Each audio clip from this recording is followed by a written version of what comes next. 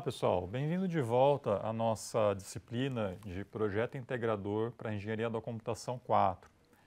É, nesta videoaula é, eu vou apresentar para vocês alguns conceitos, algumas técnicas para a gente poder é, encontrar o estado da arte.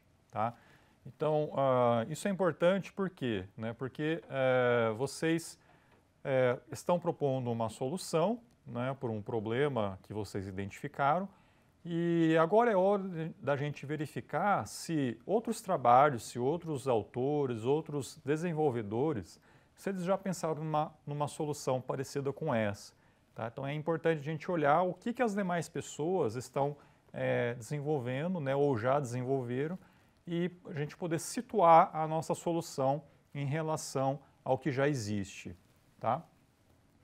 Bom, então pode ser que uma ideia nova é, que a gente teve já pode ter sido pensada ou, ou é, validada por outra pessoa, tá? Então é necessário pesquisar por soluções parecidas, tá, com as que a gente está propondo.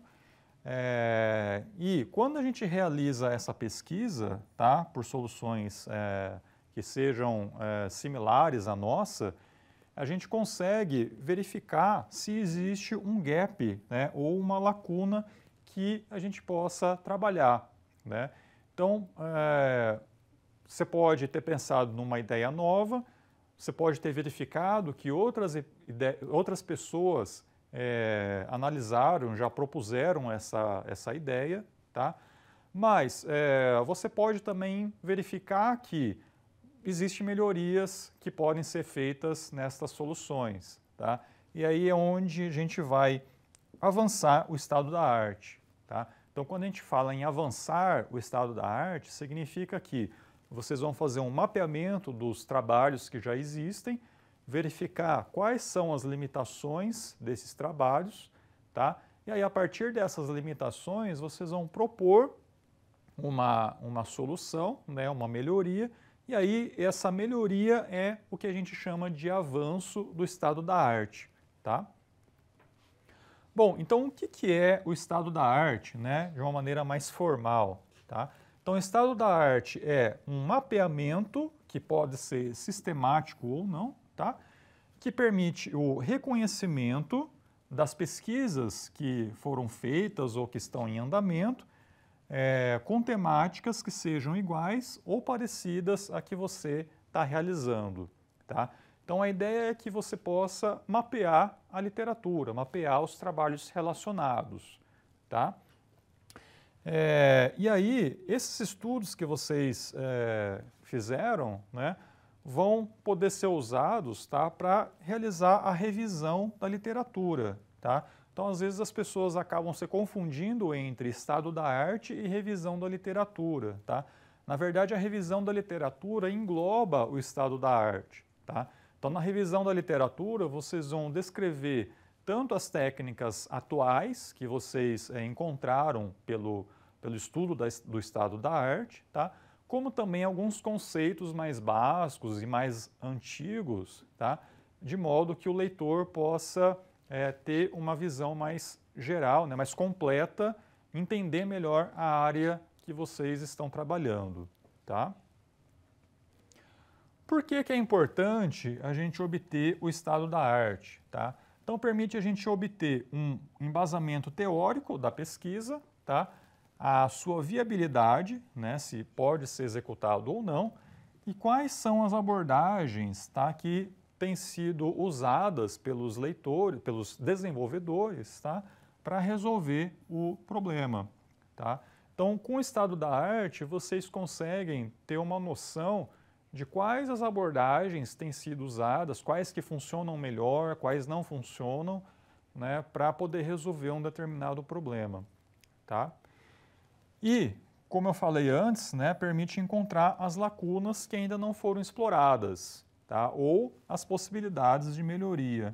Tá? Então, como eu tinha falado numa das videoaulas anteriores, é, para encontrar um problema, você pode encontrar um problema que ainda não foi resolvido, ou então encontrar uma possibilidade de melhoria de uma solução que já foi proposta previamente. Tá? como começar né, o estado da arte. Tá? Então eu coloquei aqui três passos iniciais. Tá? O primeiro, que é definir o tema, a hipótese e o problema. Tá? Então vocês já têm definido o tema, já têm definido o problema. Tá? Agora falta você definir a hipótese. Tá? Já vou falar o que, que é hipótese, tá? vou mostrar um exemplo.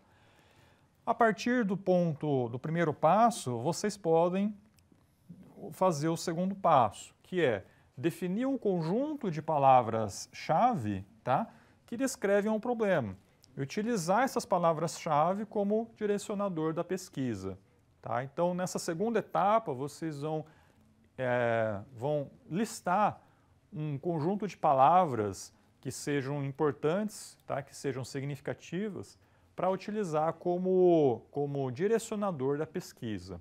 Tá? E ter o terceiro passo inicial é escolher as bases de dados para desenvolver essa pesquisa. Tá? Então eu vou falar um pouquinho sobre as bases de dados agora, tá? depois eu volto aqui na, num exemplo onde eu vou apresentar esses três passos. Tá? Então o que, que são as bases de dados? Tá? Bases de dados hoje em dia, pessoal, a gente tem é, repositórios virtuais. Né? Então, ah, anteriormente, né, em alguns anos atrás, tá, a gente não tinha, com, com a falta da internet, né, da, dos, do, dos trabalhos online, a gente tinha que ir numa biblioteca e aí fazer a pesquisa em cima dos livros, né, dos artigos é, de, físicos, né, lá naquela biblioteca. Hoje em dia, a, as coisas acaba, acabaram é, ficando mais fáceis, tá? porque você pode realizar consultas em repositórios online, em repositórios virtuais. Tá? Então, essas bases de dados, normalmente elas estão separadas por área de atuação e para cada área de atuação você pode ter uma ou mais bases de dados. Tá? E essas bases elas podem ser gratuitas ou pagas. Tá? Então, normalmente em, em universidades, tá, é, os alunos eles têm disponíveis as bases que são pagas tá, e também as gratuitas, né, logicamente, mas a universidade acaba assinando, né, a, fazendo assinatura daquelas bases para que os alunos possam pesquisar. Tá? Alguns exemplos de bases de dados. Não? Então, a gente tem aqui o banco de teses e dissertações das universidades, como a USP, a Unicamp, o FMG, entre várias outras. Tá? A gente pode também utilizar uma ferramenta que é bastante útil hoje em dia, que é o Google Acadêmico. Né? Uh, temos também o portal de periódicos da CAPES, temos também a Cielo, né, que é uma base brasileira né, de trabalhos. Tá? Entre várias outras que vocês podem utilizar. Tá? Eu vou mostrar um exemplo com, uh, com o Google Acadêmico. Tá? Então a gente vai ver uh, um exemplo de como realizar uma pesquisa né, para encontrar o estado da arte. Tá? Então olha aqui um exemplo. Eu coloquei aqui um tema que ele é mais específico tá, da, da, da minha área de pesquisa, né, onde eu, eu trabalho na minha universidade, que é sobre sistemas de recomendação mas é, vocês não precisam se preocupar exatamente em entender esse, esse tema, né? O que é importante é saber o, o procedimento né, que eu realizei aqui. Então, olha o tema, ó, utilização de informações de contexto em sistemas de recomendação baseados em sessão. Tá? Então, esse é o tema de pesquisa. Tá? A partir desse tema de pesquisa, eu posso extrair algumas palavras-chave para eu realizar a minha busca. Tá? Então, é, logicamente, vocês vão fazer isso com bases tanto em português como em bases em inglês, tá? trabalhos é, escritos em português como em outras línguas, né? como inglês. Normalmente se usa o inglês, né? onde a gente consegue encontrar mais é, resultados. Né? Então, olha aqui, né? eu criei aqui algumas palavras-chave a partir do tema. Então eu coloquei lá Session Based Recommenders Context Information. Tá? Então eu basicamente extraí alguns termos daqui do meu tema, traduzi para inglês e usei isso como palavra-chave. Tá? E aí eu tenho as minhas estratégias de busca. Tá? Então é sempre importante a gente anotar, né, tomar nota de quais foram as palavras-chave que a gente usou é, quando a gente realizou uma busca, porque alguns trabalhos podem ter sido publicados após a nossa busca, né? É, quantos artigos foram retornados, qual que foi o, o, a estratégia de seleção de artigos, de trabalhos, tá? Então tudo isso é importante vocês anotarem, porque é, vocês podem ser questionados, né? E aí vocês devem apresentar como que foi feita essa, essa análise, né? essa busca, Tá? Olha um exemplo aqui então com o Google Acadêmico. Né? Então eu peguei aqueles, aquelas palavras-chave que eu tinha, coloquei ela aqui na minha, na minha, no meu campo de busca, né? e vocês, se vocês verificarem né, os resultados, eles, é, o Google Acadêmico me retornou cerca de 44.400 artigos relacionados com essa string de busca. Tá? É muito trabalho, né? é muito, muitos trabalhos, é praticamente inviável né? a gente analisar todos esses 44.400 trabalhos. Tá? Então a gente tem que dar uma melhorada, né? tem que dar uma adaptada na nossa, na nossa, nas nossas palavras-chave. Tá? Por exemplo, eu posso colocar session based entre aspas tá? e context information também entre aspas. Então, se você tem termos que são compostos, vocês podem delimitar eles com aspas, né? E olha só, de 44 mil trabalhos já baixou para 751 trabalhos, tá? Então é, é importante, né, dar, fazer essa adaptação na nossa string de busca, né, nas nossas palavras-chave, para poder diminuir um pouco esses, esse número aqui, né? Bom, ah, depois disso, eu também coloquei trabalhos mais atuais, né, a partir de 2015. Tá? Então, trabalhos anteriores a 2015 são importantes, mas você quer obter o estado da arte, então você quer saber quais são os trabalhos mais atuais que foram desenvolvidos nesta área. Tá? Então, pegando apenas os trabalhos a partir de, de 2015, a o meu, minha ferramenta me retornou 330 resultados. Tá? Melhorando um pouco mais, eu coloquei Session Based Recommender, tá? entre aspas, tá? e Context Information também entre aspas. Então eu também mudei um pouquinho né? a minha, minha aspas, né? meu, meu fecha aspas, e veja que aqui agora, ó, 14 trabalhos. Tá? Então com 14 trabalhos é, é, é possível né? analisar cada um desses trabalhos e ver o que, que se trata né, e poder fazer uma análise para ver se eles estão relacionados com a nossa busca ou não. Tá? Então, olha aqui, ó, foi me retornado 14 artigos.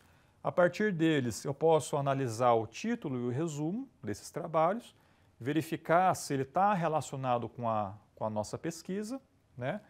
salvar aqueles artigos que estão relacionados para uma futura leitura, né?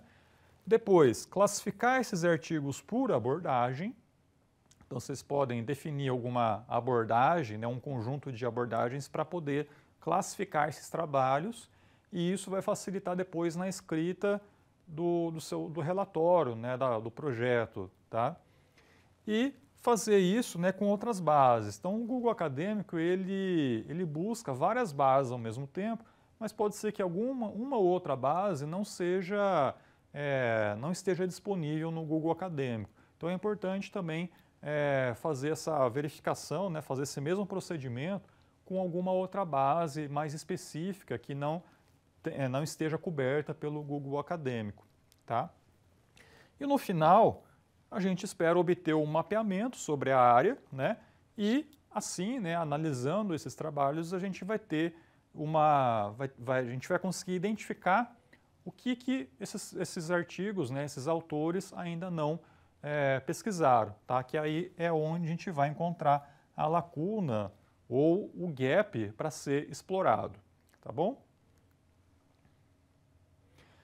Bom, a gente tem outras ferramentas, pessoal, que podem ser utilizadas é, nesta, nesta, nessa análise, né, dessa, nessa pesquisa. Tá?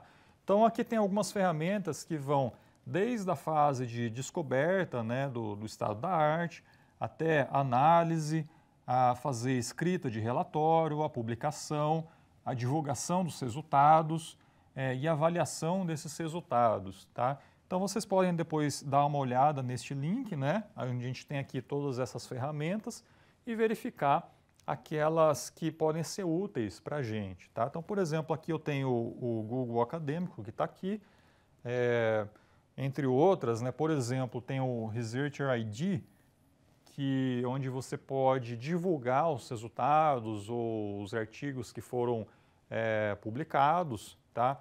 Tem um ResearchGate também que é, tem esse mesmo propósito, tá? Então, é, existem várias e várias ferramentas que podem ser utilizadas para isso, tá bom?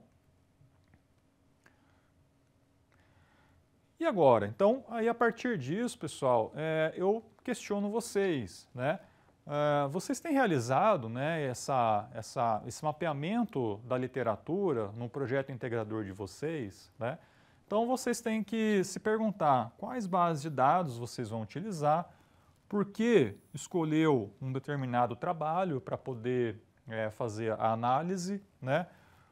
Qual que é o título do trabalho, o que, que foi realizado, quais foram os resultados, tá? quais são as lacunas daquele trabalho, tá? o que, que pode ser aproveitado daquele trabalho no projeto integrador de vocês. Tá? Então vocês podem pegar todas essas perguntas que estão aqui e para cada trabalho que foi identificado, foi é, extraído lá do, da ferramenta de busca, fazer então essas perguntas e responder a elas, né, para que vocês possam ter, o, o, ter essa visão mais crítica, né, do que, que pode ser aproveitado e quais são os problemas existentes. Tudo bem? Então é isso, pessoal. Aqui a gente finaliza mais esta videoaula. Né? Espero que vocês possam ter aproveitado o conteúdo desta aula e a gente vê, a gente se vê então numa próxima oportunidade. Obrigado.